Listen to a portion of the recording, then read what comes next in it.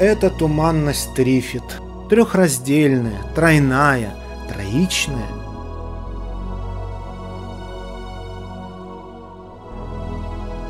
Очень необычная комбинация рассеянного звездного скопления, эмиссионной, отражающей и темной туманности.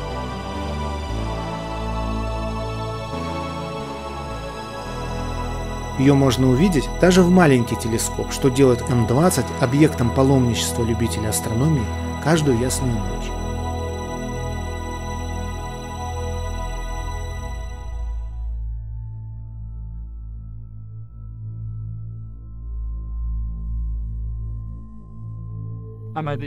Скопление звезд немного выше эклиптики между луком Стрельца и правой ступней Змееносца. Великолепная, очень яркая, очень большая, трехраздельная, с двойной звездой.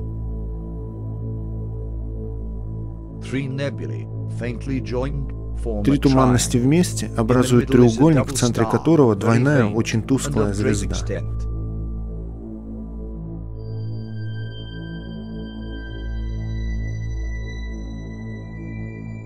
Но за этой эстетикой скрывалась очень интересная наука. Недалеко от центральной звезды туманности, всего в 8 световых годах от нее, находится облако, в котором в 1997 году космический телескоп Хаббл обнаружил звезды, эмбрионы на разных стадиях развития. Через верхушку этого облака прорываются мощные струи энергичных частиц, отмечающие место и время рождения звезд, прямо на наших глазах. Облако в форме пальца обличительно указывает на инициатора всей этой вечеринки – центральную звезду гиганта, вырабатывающую ветер такой силы, что он полностью вычищает окружающее пространство на многие световые годы.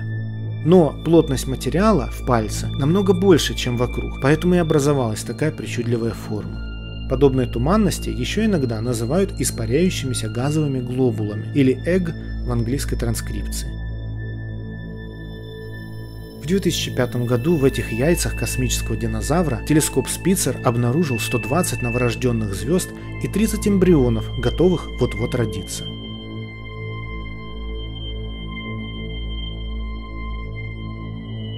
Рождение звезд.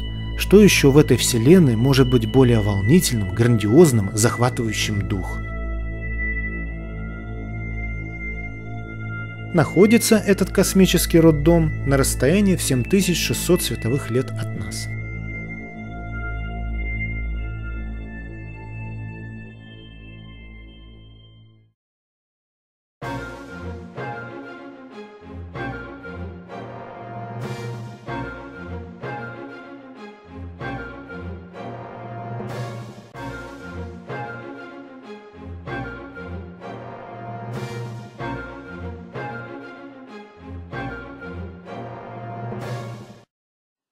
poursuivi.